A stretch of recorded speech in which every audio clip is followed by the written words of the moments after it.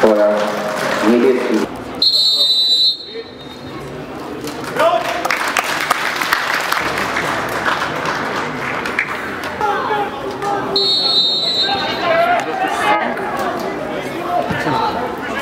Protest song?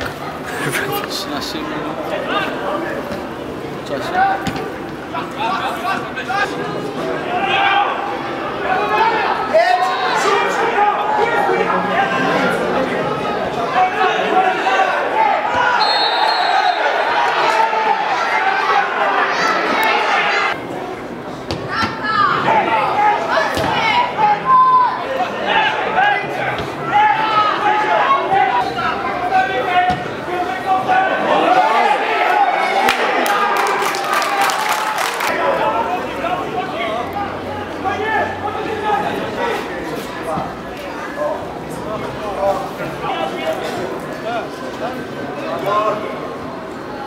all